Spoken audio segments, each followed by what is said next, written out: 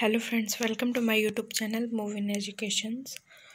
तो मैंने इससे पहले भी एक क्लास ली हुई थी जिसमें मैंने कि आपको ग्रोथ एंड डेवलपमेंट की थोड़ी बेसिक चीज़ें बताई हैं जिसमें से मैंने डेवलपमेंट को बहुत अच्छे से डिस्क्राइब भी किया है जिसका पार्ट टू आने वाला मतलब पार्ट टू है ये। आ, पार्ट वन आप लोग प्लीज़ जा कर के देख लीजिए उसमें बहुत सारी चीज़ें क्लियरिटी आपको समझ में आ जाएगी। तो हम लोग जो आज सेकेंड पार्ट है हमारा वृद्धि यानी ग्रोथ, उसको अच्छे से देखेंगे और इसमें भी डेवलपमेंट के स्टेजेस वगैरह ये सब भी हम लोग देखेंगे, जो कि बहुत ज़्यादा हेल्पफुल होने वाला है फॉर टीचिंग एग्ज़ाम।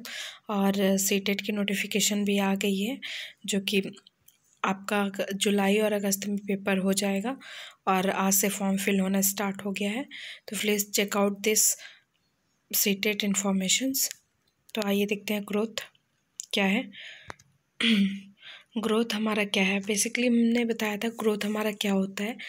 जो हमारी मात्रात्मक परिवर्तन होती हैं, जैसे हाइट वेट और बढ़ना, छोटा होना, बड़ा होना, मोटा होना, पतला होना, ये सारी चीज़ें हमारी ग्रोथ पे डिपेंड होती है।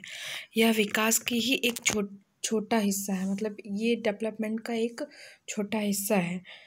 और परिपक्वता भी विकास का ही हिस्सा अर्थात डोमेन है। यानी कि मेच्योरिटी भी डेवलपमेंट का ही एक हिस्सा है। तो ज़ाहिर सी बात है डेवलपमेंट में ऑलमोस्ट सारी चीज़ें आ जाती हैं तो मेच्योरिटी भी आ जाती है, जो कि उसका डोमेन है। और जो आपका मेच्योरिटी है, वो इन्वामेंटल हेरिडिटी का भी हेरिडिटी से डायरेक्ट संबंध रखता है। हेरिडिटी और इन्वामेंटल का भी क्या ग्रोथ एंड डेवलपमेंट में यूज़ है, उसको मैं अभी आगे बताऊँगी आपको। तो आप ऐसे देखते रहिएगा। तो परिपक्वता मेच्योरिटी हाईली मतलब यही दिखाया है कि हाईली रिलेटेड टू हेरिडिटी यानी कि अनुवांशिकता से बहुत ज़्यादा रिलेटेड है पर मेच्योरिटी यानी इसमें ये बताया गया है कि जो आपके पेरेंट्स या फिर जो अनुवांशिक पीढ़ी दर पीढ़ी, जैसे मेच्योरिटी आपके घर में या फिर परिवार में रही है, वैसे ही आगे भी रहेगी। ग्रोथ में क्वांटिटिव चेंजेस होते हैं, यानी मात्रात्मक, अभी मैंने बताया मात्रात्मक क्या होता है, इसको देख लेते हैं। मात्रात्मक क्या क्वांटिटिव स्ट्रक्चर्स चेंज होता है, वो जो जिसे हम लोग माप सकते हों या फिर जिसे मेज़र कर सकते हों, जैसे मोटा होना, पतला होना, लंबा होना, आकार में वृद्धि, छोटा होना आदि। ये सारी चीज़ें जो हम लोग एक तरीके से माप सकते हैं या उसकी गणना कर सकते हैं कि हाँ वेट है तो वेट हम केजीस में नाप सकते हैं कि हाँ डज़न में नाप सकते हैं, लेकिन नाप सकते हैं। लंबाई कितनी है? मीटर, सेंटीमीटर में नाप सकते हैं। पतला कितना है? वो बंदा या मोटा कितना है? उसका आकार कैसा है? गोला है, पतला है, मोटा है, जैसा है। तो ये सारी चीज़ें क्वांटिटिव चेंजेस होती हैं, जो कि ग्रोथ के अंतर्गत आती हैं। क्वांटिटिव का अर्थ होता है जिससे हम गणना कर सकें मेज़र्स कर सकें। वही जैसे मैंने अभी आपको बताया कि उसको मेज़र्स कर सके, वही हमारा क्वांटिटिव कहलाती है।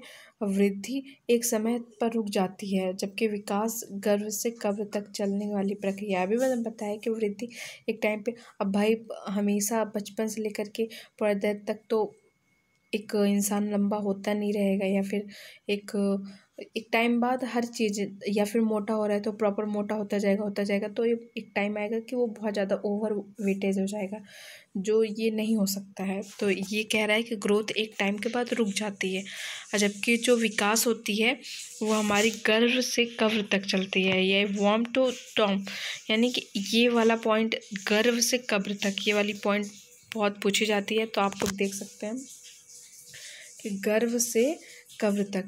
इसको अच्छे से ध्यान से देखिएगा।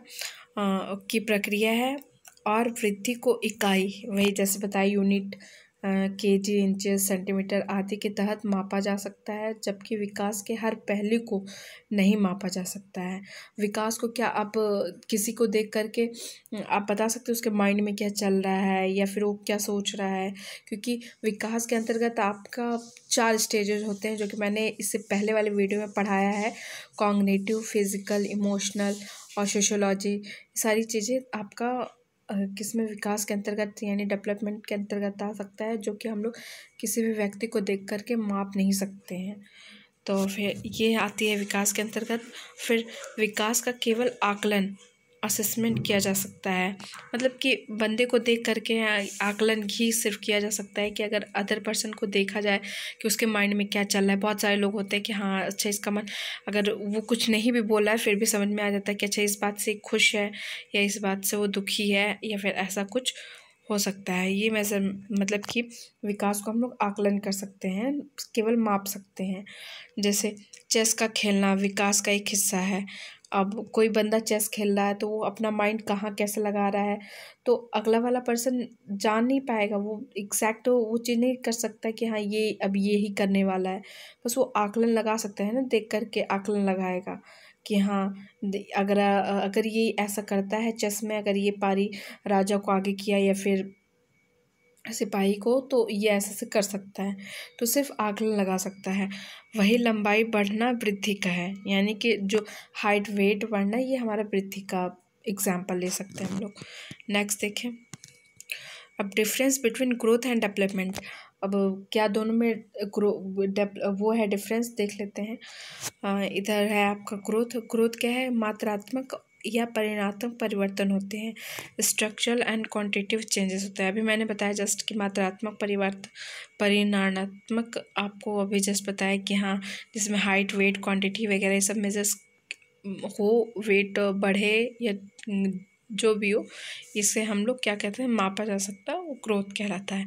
और डेवलपमेंट क्या है, परिणात्मक के सांसद गुणात्मक परिवर्तन भी होता है। जो स्ट्रक्चरल स्ट्रक्चर के साथ साथ फंक्शनल एरिया भी, उसकी क्वांटिटिव चेंजेस भी होते हैं इसमें। मतलब कि दोनों साइड से इसका परिवर्तन होता है डेवलपमेंट का। फिर आता है ग्रोथ में वृद्धि सम्मानित शरीर शरीर शारीरिक परिवर्तन से संबंधित है। रिलेटेड टू फ़िज़िकल चेंजेस यानी कि जो ग्रोथ होता है हमारा वो फ़िज़िकल चेंजेस से ही डिपेंड करता है कि जैसे मोटा होना, पतला होना, लंबा, चौड़ा, ये सारी चीज़ें जो बॉडी से रिलेटेड हो या शारीरिक संबंध जिससे हो शारीरिक संबंध कह रहे हैं सॉरी फ़िज़िकल जो चेंजेस होते हैं, वो हमारा ग्रोथ में होता है। फिर आता है ये विकास का आशीष। और डेवलपमेंट में क्या होता है कि ये आपका आशय शरीर के विभिन्न शारीरिक, मानसिक और व्यवहारिक संगठन से होता है। यानी कि जो डेवलपमेंट होता है वो हमारा फिज़िकली मेंटली और इमोशनली हर टाइप से ये हम लोग का चेंजेस करता है माइंड को। हमेशा जीवन पर्यंत चलता है। और ग्रोथ में क्या है, वृद्धि का मापन सही से किया जा सकता है क्योंकि यह संकुचित नैरो डोमेन है। यानी कि ये बहुत संकुचित है, छोटा है नैरो है और जबकि यही डेवलपमेंट होता है, ये ब्रॉड होता है। यानी कि बहुत ज़्यादा इसकी बड़ी जैसे कि वृद्धि को मापा जा सकता है क्योंकि ये संकुचित छोटी चीज़ छोटा है और ये जो डेवलपमेंट होता है, ये विकास का मापन कठिन है, यानी इसको मापा नहीं जा सकता है और इसका आकलन आकलन करते हैं क्योंकि विकास का रूप व्यापक है। यानी कि बहुत बड़ा होता है। जैसे किसी का मन आप तो पढ़ नहीं सकते, उसके मन में क्या चल रहा है? या सोशली वो क्या सोच रहा है, क्या नहीं सोच रहा है? उसके मन में क्या चल रहा है? उसके दिमाग में क्या चल रहा है? ये सारी चीज़ें हम लोग नहीं पढ़ सकते और ना ही माप सकते हैं। तो ये सारी चीज़ें इसके अंदर, डेवलपमेंट के अंतर्गत आती है। नेक्स्ट देखते हैं।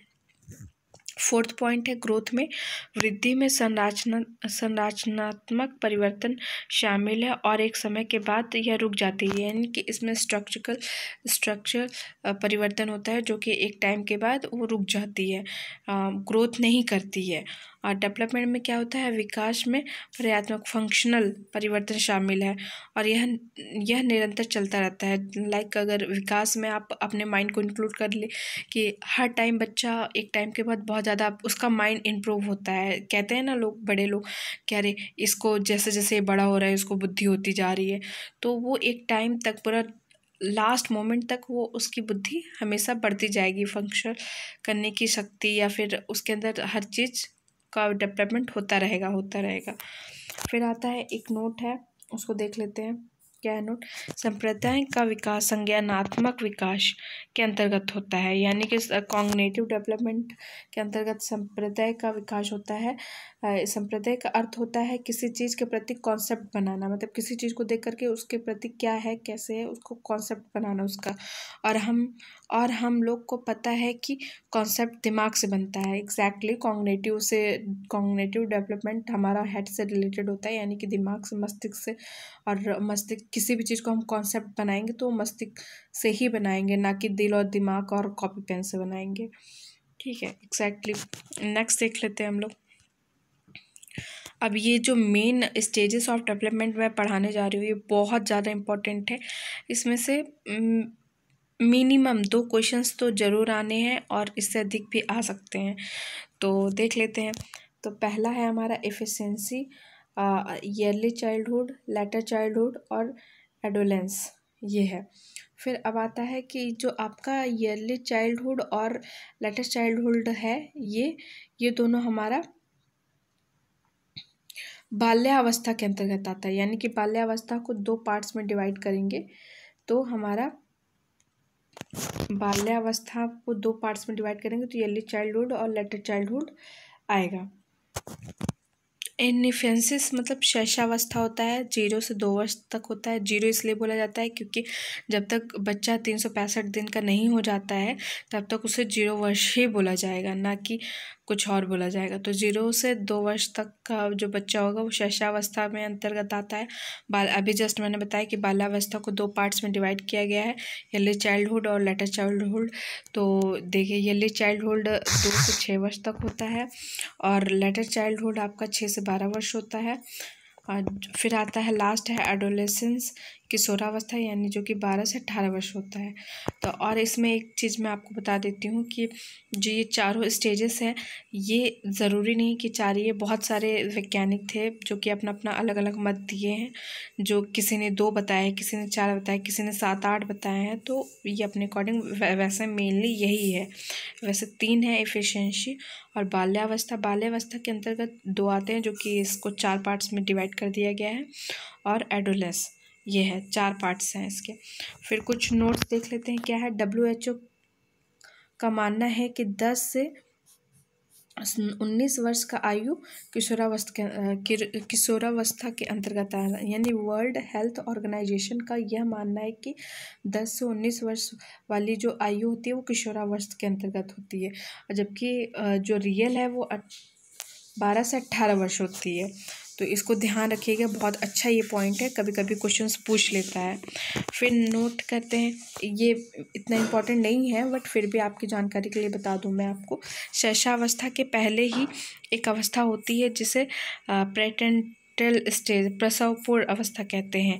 इस अवस्था में बच्चा गर्भ माँ के पेट में होता है इसका समय अंतराल गर्भधान के सम, जन्म नौ से नौ महीना दस दिन तक होता है। इस अवस्था का पूर्व विकास गर्भवती माँ पर निर्भर करता है। यानी कि ये ये वो अवस्था है जो, जब बच्चा पेट में रहता है और माँ इसका कोई मतलब नौ महीना दस दिन या दो सौ सत्तर दिन या चालीस सप्ताह होता है तो ये उतना इम्पोर्टेंट नहीं है। फिर भी जान लीजिए आप कि हाँ एक स्टेज होती है जो कि बच्चा पेट में रहता है, तब उसको प्रसवपूर्व अवस्था कहते हैं। नेक्स्ट देख लेते हैं।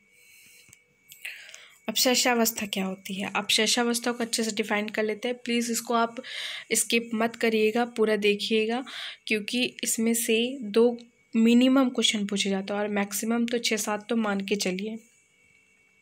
शैशावस्था ही पूछ देता है मतलब जैसे कि इतनी सारी अवस्थाओं में आ, का ईयर ही पूछ लेता है किसी किसी क्वेश्चन में। तो इसलिए प्लीज़ इसको ध्यान से देखिएगा। अब शैशावस्था में क्या जन्म से लेकर के दो वर्ष तक की अवस्था होती है? यही ज़ीरो से दो वर्ष तक की अवस्था होती है शैशावस्था इसमें ज्ञान इंद्रियों सेंसेस से सीखता है।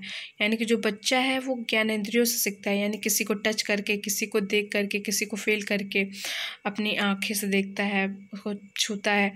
यानी कि उसमें बच्चा जो भी है, अपना हाथ पैर घुमा के टच करके सब कुछ तब सीखता है। फिर इसे मोटर एक्शंस गति क्रिया करके सीखता है। प्याजे कभी कहना है। यानी इसमें प्याजे भी कहते हैं कि बच्चा जो है वो मोटर एक्शन से सीखता है। अभी मैंने इसके जस्ट पहले वाले लेक्चर में आपको बहुत अच्छे से एक्सप्लेन किया है कि मोटर एक्शंस क्या होता है। तो इसको एक बार देख लीजिए, मोटर एक्शंस को दो पार्ट्स में डिवाइड किया गया था फाइन मोटर और क्रॉस मोटर फाइन मोटर में वो होता है कि बहुत बड़ी मसल्स का यूज़ किया जाता है, जैसे हाथ, पैर मुँह और हाथ पैर मुँह का मारना और फाइन मोटर में फाइन हो गया। ग्रॉस मोटर में आपको बहुत स्थूल से, यानी कि बहुत बारीकी से काम करना होता है चीज़ों को, बहुत कम मसल्स में, जैसे कि लिखना, पढ़ना, अच्छी राइटिंग बनाना ड्राइंग बनाना, ये सारी चीज़ें ग्रॉस मोटर के अंतर्गत आती है।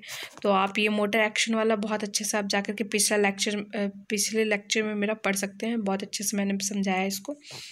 ये प्याजे का भी कहना है, ये कभी कभी क्वेश्चन पूछ देता है कि प्याज, प्याजन शैसावस्था को प्याजन ने क्या कहा था? ये कौन सी अवस्था कही थी? तो उसमें मोटर एक्शंस ऑप्शन में होता है तो आप टिक कर सकते हैं। और ये सेंसिटिव पीरियड होता है, खतरे से भरा होता है, इसमें बच्चे की बहुत सारी, मैक्सिमम बच्चों की डेथ इसी अवस्था में होती है, किसी को बीमारी होती है या फिर किसी को गिरने से हो जाती है या फिर मतलब बहुत सारी प्रॉब्लम इसी अवस्था में होती है। तो ये बहुत सेंसिटिव पीरियड होता है, खतरे से भरा होता है। ये इसमें फ़िज़िकल डेवलपमेंट बहुत तेज़ी से होता है, मेंटल डेवलपमेंट भी फास्ट होता है और ऑलमोस्ट सारे सारे अवस्थाओं में फ़िज़िकल डेवलपमेंट तेज़ी से ही होता है। फिर देख लेते पुनरावृत्ति, प्रयास व त्रुटिपूर्ण व्यवहार, वस्तु की प्रधानता छोटे छोटे शब्दों का प्रयोग आदि। मतलब इसमें बच्चा गलतियाँ करता है, सीखता है, प्रयास करता है, यानी खड़ा होता है, खड़े होने का प्रयास करेगा, फिर गिरेगा, उठेगा, बैठेगा। ये सारी चीज़ें वस्तु की प्रधानता मतलब कि वो अपनी चीज़ों को अपने पास रखेगा, उसको ज़्यादा इम्पोर्टेंस देगा खेलने कूदने वाली चीज़ों को। छोटे छोटे शब्दों का प्रयोग करेगा, माँ, पा, खा, पा, खाना, पाना ऐसे ऐसे करके जो छोटी छोटी चीज़ें को सीख पाएगा। फिर नेक्स्ट देखते हैं। फिर आता है पूर्व बाल्यावस्था, दो से छः वर्ष, यानी यर्ली चाइल्डहुड ये दो से छः वर्ष तक की अवस्था है और इसको प्लीज़ ध्यान से रख, देखिएगा। ये सारी चीज़ें बहुत ज़्यादा पूछी जाती हैं। एरिक के अनुसार जो है, एरिक ने क्या बोला है इस अवस्था को? टॉय एज और प्ले एज भी कहा है। तो ऐसा पूछ दिया जाता है कि एरिक के अनुसार टॉय एज कौन सी अवस्था होती है? तो पूरे बाल्यावस्था होती है। इसी को प्ले एज भी बोला जाता है। इस अवस्था में बालक का अधिकांश व्यवहार जिद्दी और विरोधात्मक आज्ञा न मानने वाला होता है। यानी कि इस अवस्था में बच्चा बहुत जिद्दी होता है, बहुत अगेंस्ट वाली कामें करने लगता है कि हाँ जिस चीज़ के लिए मना किया जाए, उसी चीज़ को वो करता है और आज्ञा नहीं मानता है। मतलब जो उसको इंस्ट्रक्शन दी जाती है कि बेटा नहीं, आप ये ऐसे करो, ऐसे उसका जस्ट अपोजिट करता है वो। तो फिर नेक्स्ट देखते इस अवस्था में बालकों में जो संवेग देखने को मिलता है, वह है क्रोध, डर, खुशी, दुख, उत्साह आदि। इसमें मतलब ऑलमोस्ट सारी चीज़ें बच्चा करता है कि वो क्रोध भी होता है, गुस्सा भी होता है, डर भी रहता है। इसमें फास्टेस्ट लैंग्वेज डेवलपमेंट होती है। फास्टेस्ट लैंग्वेज डेवलपमेंट इसमें बच्चा बहुत तेज़ी से लैंग्वेज को बहुत तेज़ी से अडॉप्ट करता है, सीखता है, नकल करके सीखने वाला इसमें बच्चा बहुत जल्दी नकल करता है किसी दूसरे को देख करके और भाषा विकास के लिए पूर्व बाल्यावस्था sensitive critical fastest language development संवेदनशील। यानी इसमें वही बताया गया है कि बहुत सेंसिटिव होता है लैंग्वेज को सीखना, क्योंकि इसमें बच्चा बहुत सारी चीज़ें सीख लेता है, बहुत बच के बोलना होता है। कि हाँ मम्मी पापा जो बोल दिए वही सीख ले या फिर डोरेमोन देख रहा है, उसकी नकल कर ले रहा है। एग्जैक्ट वही चीज़ें बोल रहा है। उसमें जो भी कुछ गलत वर्ड भी यूज़ हुए हैं तो वो सीख लिख के, सीख के तुरंत बोलने लगता है। इस बच्चे में अगर, इस माहौल में अगर बच्चे को गाली गलौज वाली जगह रखा जाए तो बच्चा गाली देने लगता है। तो ये सारी चीज़ें बहुत ध्यान में रखनी चाहिए। तो इसमें बच्चा बहुत जल्दी चीज़ों को अडॉप्ट करता है सोशल से। नेक्स्ट देखते हैं उत्तरा बा, उत्तर बाल्यावस्था लेटर चाइल्डहुड छः से बारह वर्ष। छः से बारह वर्ष तक की अवस्था हो, होती है ये छः इस अवस्था में बालक स्कूल जाना प्रारंभ कर देता है। बालक शरारती अधिक शरारती अधिक करता है। समूह में रहना पसंद करता है। ये इसमें इस टोली अवस्था इसको गैंग एज भी बोला जाता है और इसको गेम एज भी बोला जाता है। स्पोर्ट्स है एलिमेंट्री स्कूल एज होती है। यानी ये स्टार्टिंग उस जाने स्टार्टिंग स्कूल एज होती है, इसमें बच्चा प्रॉपर जाना स्टार्ट कर देता है। बालक स्वयं से संबंधित बातें अधिक करता है है ना? कि इसमें बच्चा अपने आप से पूछता है, ज़्यादा टाइम अपने बालकों में जिज्ञास जिज्ञासा की प्रवृत्ति बनी रहती है। इसमें बच्चा बहुत जिज्ञासु होता है, बहुत हर चीज़ को जानने की कोशिश करता है कि ये कैसे है, ये कैसे नहीं हुआ, ये कैसा है, कैसा नहीं हुआ। और इसमें जो फ्रेंडशिप होती है, वो लॉन्ग टर्म फ्रेंडशिप होती है। लॉन्ग टर्म फ्रेंडशिप एज वाली होती है, बोलते हैं चाइल्डहुड वाला मेरा फ्रेंड है। ऐसा होता है, जो कि बहुत अच्छा माना जाता है। फ़िज़िकल डेवलपमेंट बहुत थोड़ा स्लो हो जाता है इसमें। अब मोटर डेवलपमेंट फास्ट हो, होता है। इसमें मतलब कि मोटर डेवलपमेंट में अभी मैंने बताया है कि आपको ये देखना ही पड़ेगा क्योंकि मोटर डेवलपमेंट बहुत ज़रूरी है देखना कि हाँ फाइन मोटर क्या होता है ग्रॉस मोटर क्या होता है। तो इसमें बहुत तेज़ी से इंक्रीज़ होता है। और हाँ ये तीन पॉइंट ज़रूर नोट करिएगा। एरिक्सन एरिक्सन के अनुसार और पियाजे के अनुसार और फरेडे के अनुसार। ये तीन कभी कभी पूछ देता है। एरिक्सन के अनुसार इंडस्ट्रियल वर्सेस इन्फेरिटी वाली एज होती है। इसमें मतलब कि एरिक्सन ने बोला है कि इंडस्ट्रियल एज इसलिए कहा है कि बच्चा इस एज में वो स्कूल जाना प्रारंभ करता है। और पियाजे का मतलब है कॉन्सक्रेट ऑपरेशनल। यानी कि इसमें बच्चा आ, अपनी अवस्थाएँ चेंज करता रहता है और कुछ ना कुछ आगे बढ़ता रहता है सीखता रहता है। और फ्राडे के अनुसार है, लेटेंसी एज सुषुप्ता अवस्था इसमें बच्चा एक्टिव होकर के आगे बढ़ता रहता है। तो ये सारी चीज़ें सीख लीजिएगा आप लोग। नेक्स्ट देखते हैं। और ये तीन पॉइंट अच्छे से पढ़ लीजिएगा, क्योंकि इसमें से क्वेश्चन पूछते हैं कैरिक के अनुसार उत्तरा अवस्था को क्या बोला गया है? या इंडस्ट्रियल इंडस्ट्रियल एज कौन सा होता है? या कॉन्क्रीट कौन सा होता है? कॉन्क्रीट ऑप्शन किसने दिया है? पियाजे ने दिया है। तो अभी पियाजे वाइगोस्की सब पढ़ेंगे तो उसमें सारी चीज़ें हैं। तब हम लोग काफ़ी अच्छे से पढ़ेंगे। फिर किशोरावस्था है एडोलेंस बारह से अट्ठारह वर्ष। यह अवस्था बारह से अट्ठारह वर्ष अट्ठारह वर्ष के लिए के मानी जाती है। ट्रेडिशन ट्रेडिशनल पीरियड होता है, परिवर्तन काल होता है, संक्रमण काल होता है। गोल्डन पीरियड होता है स्ट्रेस और स्टॉम होता है, तनाव और तूफ़ान की अवस्था होती है।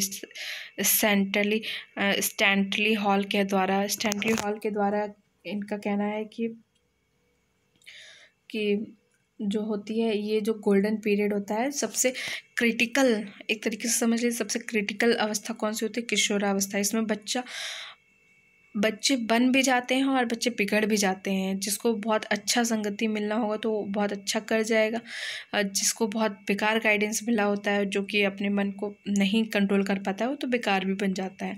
तो ये अवस्था बना भी देती है और बिगाड़ भी देती है। तो इसीलिए बोला जाता है, ये बहुत गोल्डन पीरियड होता है।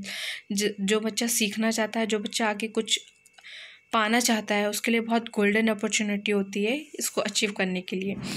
और ये स्ट्रेस और स्टॉम की भी होती है, तनाव और तूफ़ान की भी एज होती है। इसमें बच्चा बहुत कंफ्यूज भी रहता है, बहुत स्ट्रेस में भी रहता है कि हाँ वो आगे क्या करे, क्या ना करे। और ये लीडरशिप स्किल होती है लैक ऑफ़ इमोशनल स्टेबिलिटी होती है। इसमें बहुत ज़्यादा बच्चा इमोशनल हो जाता है या फिर इमोशनल की कमी हो जाती है। इसमें या तो बहुत ज़्यादा उसके अंदर तूफ़ान वाली अवस्था होगी या तो बहुत तनाव वाली अवस्था होगी। ब्रिज पीरियड होता है, ये बहुत ब्रिज पीरियड होता है, ना तो ये चाइल्डहुड पीरियड रहता है, ना ये किशोरावस्था ही होता है मतलब प्योर एज होती है। ये बहुत बीच वाली एज होती है, इसीलिए इसको ब्रिज पीरियड भी बोला जाता है। इसको ध्यान से पढ़िएगा। क्वेश्चंस आते हैं कि ब्रिज पीरियड किससे बोला जाता है? तो ये देख लीजिएगा, ब्रिज पीरियड हमारा किशोरावस्था को कहते हैं। फिर नेक्स्ट है आइडेंटिटीज क्राइसिस का अर्थ होता है कि बच्चा यह ढूंढ रहा है कि मैं हूँ कौन? एरिक एरिक्सन के अनुसार। एरिक्सन एरिक एरिक्सन का कहना था कि इसमें आइडेंटिटी क्रिटिसाइज का अर्थ भी होता है कि इसमें बच्चा अपने आप अपने आप से पूछता है कि मैं हूँ कौन? तो ये बहुत बड़ी समस्या होती है कि इसमें बच्चा अपने आप को ढूँढने की कोशिश करता है अपने आप को संभालने की कोशिश करता है। बहुत बड़ी चीज़ होती है।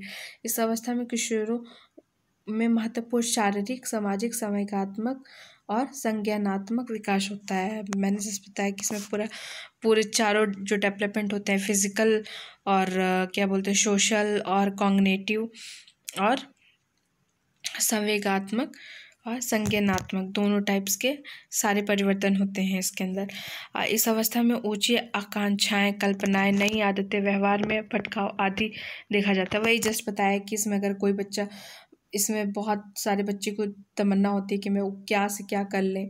आकांक्षाएँ, ऊँची आकांक्षाएँ होती हैं, कल्पनाएँ बहुत अच्छी होती हैं, नई आदतें इसमें बहुत सारी चीज़ें सीखता है, बच्चा इंक्लूड करता है। व्यवहार में भटकाव आदि देखा जाता है। इसमें सबसे ज़्यादा भट भटकाव वाली सिचुएशन इसी एज में होती है। नेक्स्ट देखते हैं। अभी जस्ट मैंने बताया कि ब्रिज यानी पुल, इसमें ना बच्चे चाइल्डहुड का होता है, ना एडल्ट का होता है। तो जो ब्रिज पुल होता है, वो आपका एडोलेंस कहलाता है। यानी कि किशोरावस्था वाला पीरियड कहलाता है तो ये चीज़ ध्यान रखिएगा।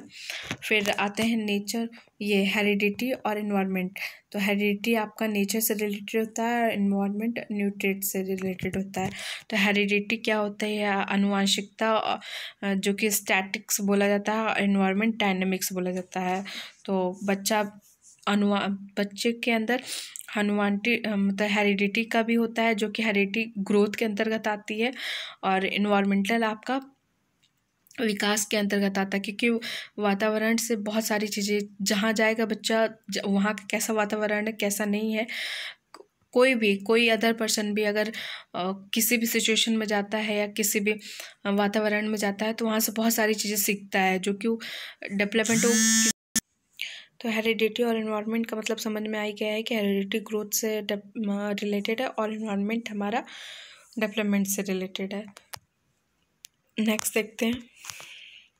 ये जस्ट मैंने बताया हेरिडिटी और अनुवांशिकता इससे क्वेश्चन ज़रूर पूछता है। प्लीज़ कंफ्यूज नहीं होइएगा कि अनुवांशिकता और वातावरण क्या है। हेरिडिटी प्लस इन्वायरमेंट नहीं होता है तो बहुत सारे लोग ये गलती कर देते हैं कि प्लस होता है, एक दूसरे को प्लस किया जाता है, जबकि नहीं। एक दूसरे का गुड़ज होता है, यानी कि मल्टीप्लिकेशन होता है। हेरिडिटी मल्टीप्लाई बाय इन्वायरमेंट होता है, अर्थात अनुवांशिकता और वातावरण विकास के बराबर के हकदार होते हैं। फिर हेरिडिटी फिक्स होता है मतलब स्टैटिक्स होता है स्थायी होता है और इन्वायरमेंट चेंजेबल होता है। जैसे मैंने बताया कि एक जगह से बन, एक जगह से दूसरी जगह जाना अदर प्लेस होना चेंज होना, यहाँ का वातावरण कुछ और है, दूसरी जगह का वातावरण कुछ और है। जैसे जम्मू एंड कश्मीर हो गया आपका उत्तर प्रदेश आप मान लीजिए कि यूपी में है, फिर डायरेक्ट आपको जम्मू कश्मीर भेज देते तो वहाँ का वातावरण कुछ और होगा, यहाँ का वातावरण कुछ और होगा। तो ये परिवर्तनशील है कि हर जगह मान लीजिए यूपी में ही है तो हर टाइम एक सीज़न ही नहीं होता, गर्मी ही नहीं होता, ठंडी, गर्मी, बरसात सब कुछ आता है तो ये वातावरण के अनुसार होता है, और जो कि परिवर्तनशील होता है और हेरिडिटी आपकी फिक्स्ड होती है। तो heredity can best be viewed as something that set a range basic within in the individual development is actually shaped by the support and opportunity of the environment तो ये हेरिडिटी का best example है कि support और opportunity of the environment को चाहिए होता है। नेक्स्ट देखते हैं। प्रिंसिपल ऑफ़ डेवलपमेंट तो ये सारी चीज़ें देखेंगे डेवलपमेंट इज़ कॉन्टीन्यूसली यानी कि डेवलपमेंट हमेशा सतत है, जो हमेशा चलती ही रहती है, कभी रुकती नहीं है। डेवलपमेंट इज़ सिक्वेंसली ऑर्डरली यानी कि एक क्रम के अनुसार होती है। जैसे कि फ़िज़िकल डेवलपमेंट होना, पहले आपका संज्ञानात्मक होता है हेड से स्टार्ट होता है, फिर फ़िज़िकल होगा, फिर उसके बाद आपका इमोशनल होगा सोशल होगा इमोशनल होगा, इस टाइप की सारी चीज़ें क्रमित के अनुसार होती है। Rate of development varies person to person विकास की दर भिन्न भिन्न होती है, यानी कि, कब, कहाँ, कैसे, किस टाइप का विकास हो जाए, कोई गारंटी नहीं है। कोई सोशल में रह करके डेवलपमेंट होता है कहीं अदर डेवलपमेंट होता है, हर टाइप का अलग अलग होता है। Development proceed for general to specific सम्मान से विशिष्ट होता है, यानी कि नॉर्मल से विशिष्ट होता है। यानी कि पहले बच्चा नॉर्मल कोई भी चीज़ सीख रहा है तो पहले नॉर्मली सीखेगा ए बी सी डी फिर उसमें वो प्रो बनता है। यानी कि बहुत सारी चीज़ें सीखता है। फिर आता है next growth and development is the product of both heredity and environment तो तो ये है ग्रोथ एंड डेवलपमेंट प्रोडक्ट किसका होता है? हेरिडिटी और इन्वायरमेंट का, यानी कि D is equal to D हमारे यहाँ पे डेवलपमेंट है is equal to H into E यानी कि हेरिडिटी इंटू इन्वायरमेंट ये दोनों का डेवलपमेंट हमारा मल्टीपल मल्टीपल होता है। तो ये सारी चीज़ें भूलिएगा नहीं, ये बहुत ज़्यादा इंपॉर्टेंट होता है। हेरिडिटी और ये वाला। तो there is a constant interactions between all factors of development तो ये बोला है कि हर एक जो डेवलपमेंट का हर एक जो फैक्टर होता है, एक दूसरे से कांस्टेंट इंटरेक्शन करते हैं। यानी जैसे कॉग्नेटिव हो गया कॉग्नेटिव का सोशल से हो गया तो सब एक दूसरे से इंटरेक्शन करते रहते हैं।